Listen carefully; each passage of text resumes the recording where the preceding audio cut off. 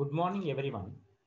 Today, let us talk about the programmable logic controllers, Unit 5. In the previous session, we have discussed about the microcontroller, differences between microprocessor and microcontroller, various applications of microcontroller. In the today's session, let us see the pin configuration of 8051 microcontroller, various factors considered in selecting microcontroller, and then the introduction to programmable logic controller. So this slide shows us the pin configuration of 8051 microcontroller. This 8051 microcontroller has got totally 40 pins. So starting with uh, port number 1 to port number 40. The port the pins 1.0 to 1.7 refers to the port number 1. Pin number 9 is the RST pin. We call it as the reset pin. Then pin number 10 to pin number 17 refers to the port number 3.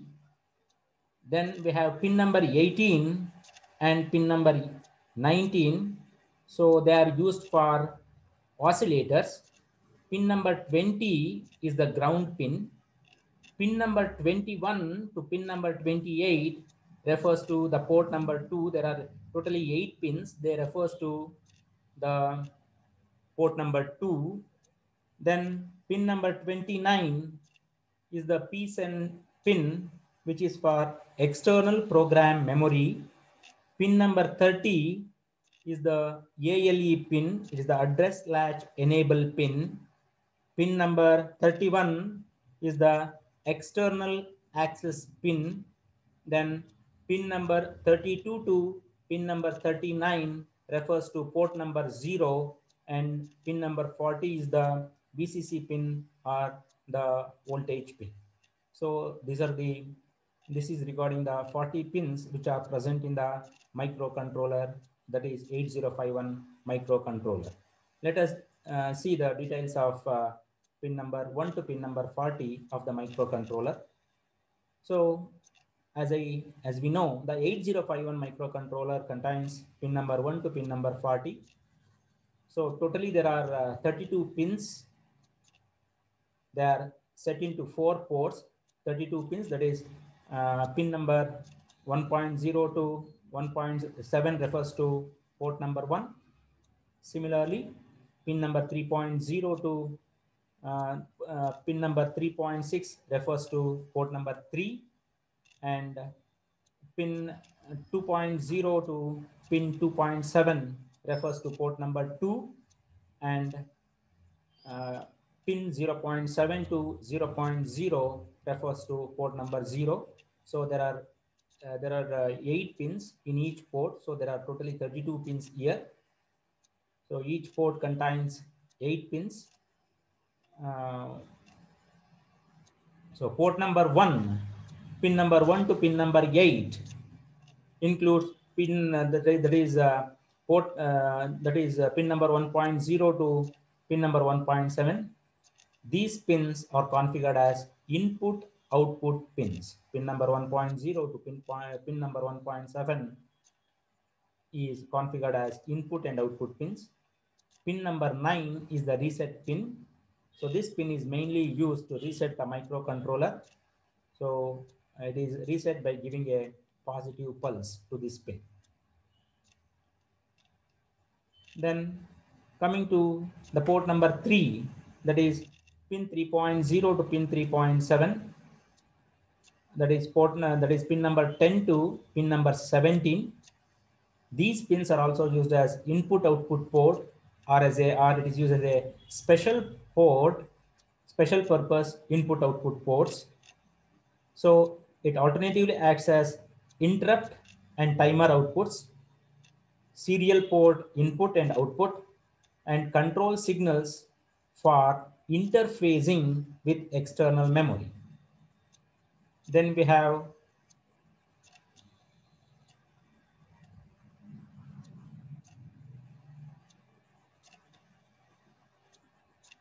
pin number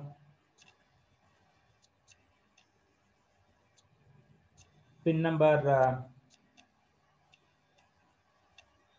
10 pin number 10 is called as the RxD pin it is a serial asynchronous communication input or serial synchronous communication output pin number 11 serial asynchronous communication output or serial synchronous communication clock output. Pin number 12 is the input of interrupt 0. Pin number 13. Pin number 13, it is the input of interrupt 1. Pin number 14, it is the input of counter 0 clock. Pin number 15, it is the input of counter 1 clock. Pin number 16, writing signal to write content on external RAM. Pin number 17, reading signal to read contents of external RAM. This is regarding the port number 3, that is pin number 10 to pin number 17. Pin number 18 and 19. So we call them as X2 and X1 pins are input output pins for the oscillators. It is used to connect an internal oscillator to the microcontroller. Pin number 20 is a ground pin. Then coming to port number 2, that is pin number 21 to pin number 28. So and these are configured as input output pins when we do not use any external memory if we use external memory, then these pins, pin number 21 to pin number 28 will work as higher order address bus that is A8 to A15. Pin number 29 is used to enable external program memory. Pin number 30 is the address latch enable pin is an active high output signal when we use multiple memory chips, then this pin is used to distinguish between them. Then pin number 31 is the external access to read data from both memories, first internal and then from the external memory. Then we have pin number 32 to pin number 39. We call it as port number zero. It is similar to port number 2 and 3 pins. It is used as input output pins when we do not use any external memory and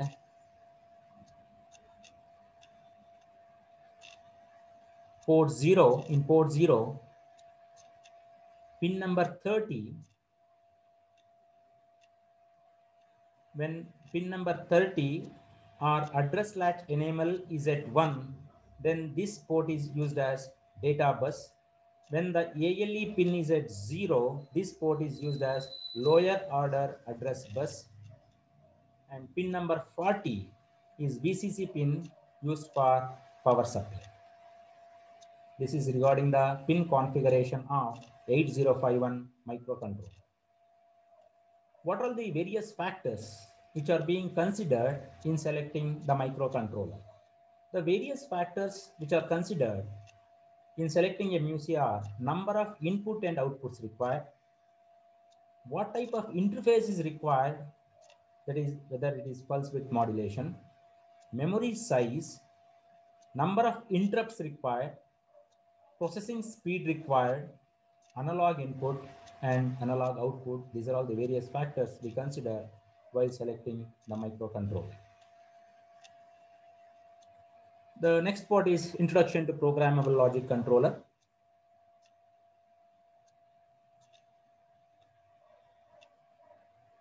So a programmable logic controller has got three sections. That is input output module, CPU, central processing unit, and a programmer, programmer or a monitor. The input section converts the signals supplied by the input devices or the sensors to logical level signals that the PLC PLC's CPU can understand. The various input devices used in a PLC are commonly it is switches and push buttons.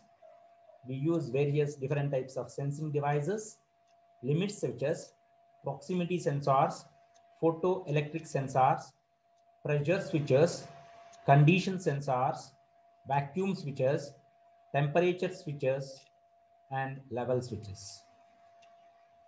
This is the block diagram of a programmable logic controller, which has got input and the output section. At the input section, several sensors are connected. At the output section, they have the actuators. So input and the output sections, they are connected by CPU, user memory, data memory, and a serial port. Serial port is connected to the programming device, and there is a power supply to all the different components of the PLC. The processor section in a PLC reads the inputs, processes the signals, and prepares the output signals. The output section converts the logic level output signals coming from the processor section into high level signals, and it is used to actuate the different output devices. Various output devices are valves, motor starters, ons and alarms, stack lights, control relays, pumps, printers, and fans. Programmer or the monitor is mainly used to enter user program into the memory and to monitor the execution of the program. The memory system, a particular area of the CPU in which data and information is stored and retrieved we call it as a memory system. The total memory area can be subdivided into four sections. That is input output image memory. Input image memory consists of memory locations, which is mainly used to hold on or off status of each input devices. The output status file consists of memory locations that stores on and off status of hardware output devices. Data is stored in the output status file after solving the user program and is waiting to be transferred to the output module's switching device.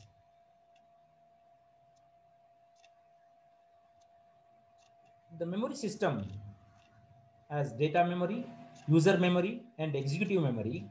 Data memory is used to store numerical data required in math calculation, barcode data, etc. User memory contains user application programs. The executive memory, it is mainly used to store an executive program or the system software. Power supply. Certain PLCs have an isolated power supply, but most of the PLCs work at 220 volt AC or 20 volt, 24 volt DC programming device, it is mainly used to feed the program into the memory of the processor. The program is first fed into the programming device and later it is transferred to the PLC's memory. System buses. Buses are the paths through which the digital signal flows internally in a PLC. Now let us see a video on the pin configuration of 8051 microcontroller. 8051 microcontroller ICs are available in different packages. Here the diagram show dual inline package of 8051 microcontroller. 8051 microcontroller is a 40 pin IC. Most of the pins are with dual functionality, means the same pin can perform two different operations. For example, the pin number 10 can be act as an input pin and the same pin can be act as a receiver pin for serial communication. 8051 microcontroller have four input output ports, port 0, 1, 2 and 3. Each port is with 8 pin. For example, port 0 contains pin port 0.0 to 0.7. Same thing is true for other ports. Pin number 1 to 8 are for port 1. This port is with internal pull-up registers. Port 1 is a bidirectional input-output port, means you can configure port 1 pin as a input or output pin.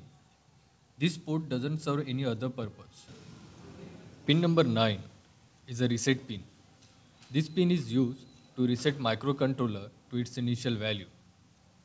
When we apply logic load to the reset pin, microcontroller work normal. But when we apply pulse to this pin, the microcontroller get reset and for the proper operation of reset, we must apply logic high for at least two machine cycle that is 2.17 microsecond. This requirement is fulfilled by reset circuitry. When we press a switch, logic high is given to RST pin, a value of capacitor and resistor. Make sure that the logic high is given to the reset pin for at least two machine cycle.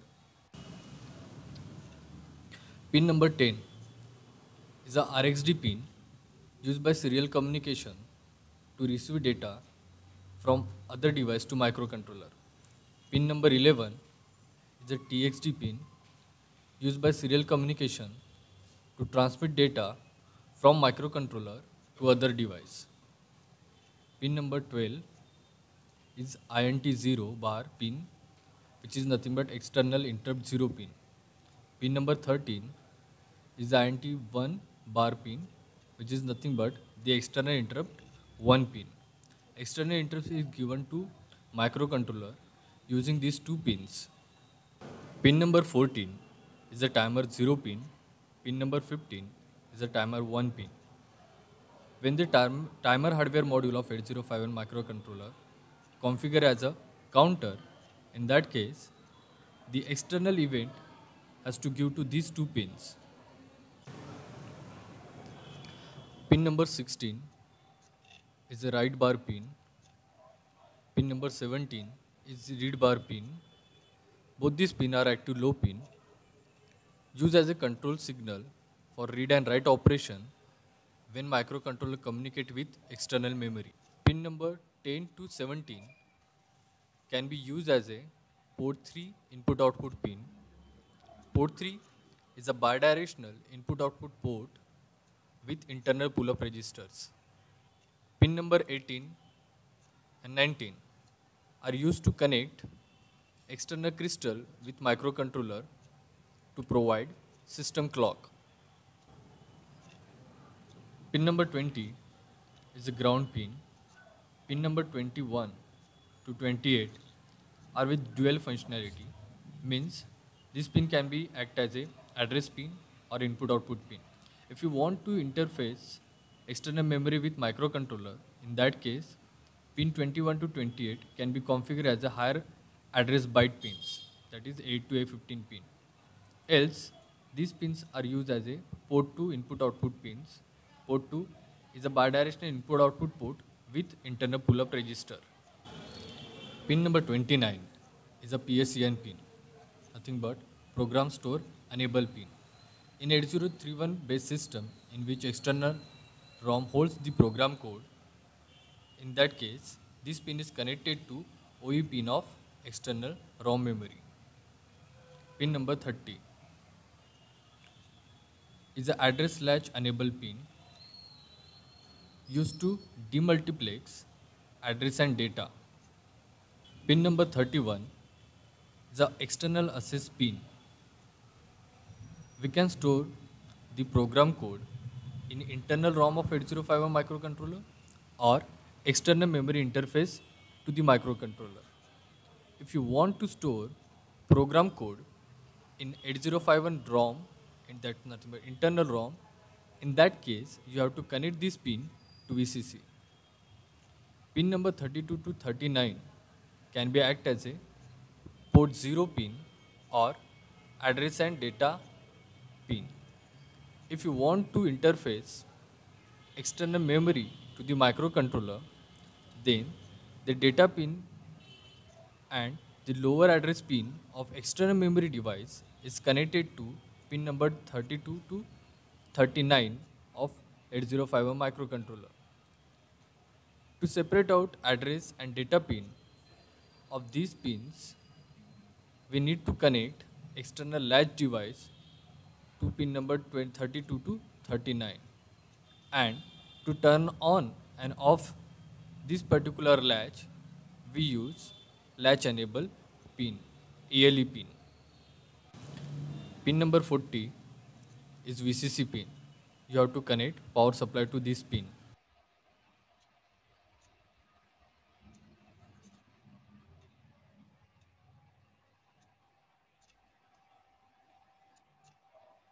So on the completion of this session, we should be you should be able to know the pin configuration of 8051 microcontroller, factors considered in selecting MUSI, and PLC introduction. So these are the references.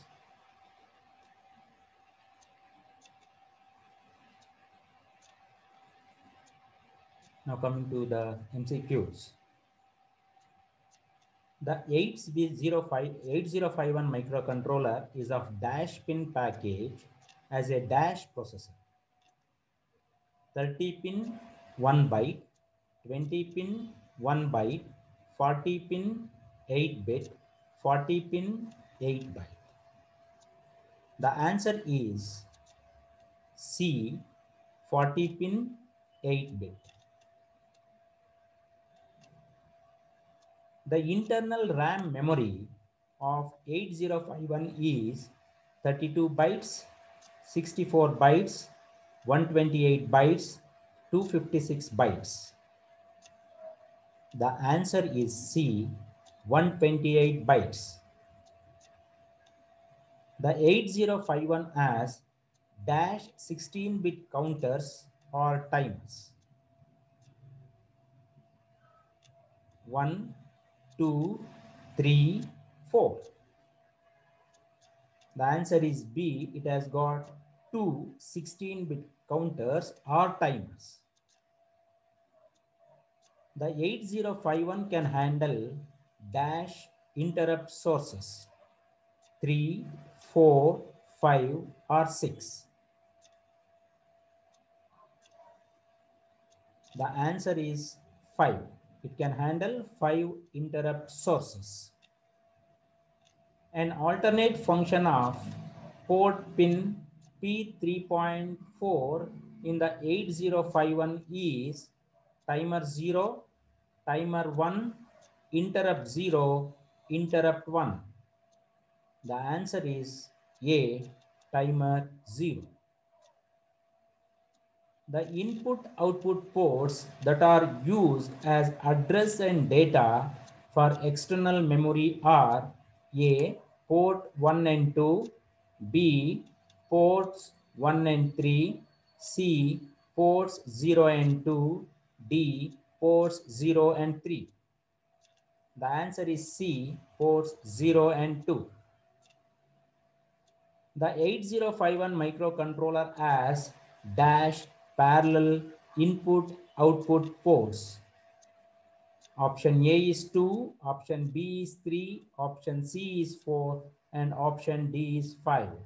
The answer is option C, that is 4.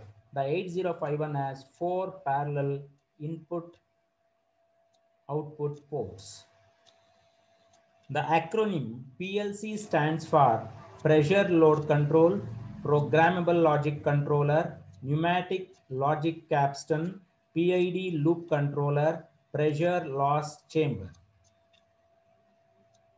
The answer is B, Programmable Logic Controller. The most popular language for PLC is ladder diagram, C++, U+, VHDL. The answer is A, ladder diagram. Dash of PLC can be done in very little time. A, programming, B, installation, C, commissioning, D, all of the above.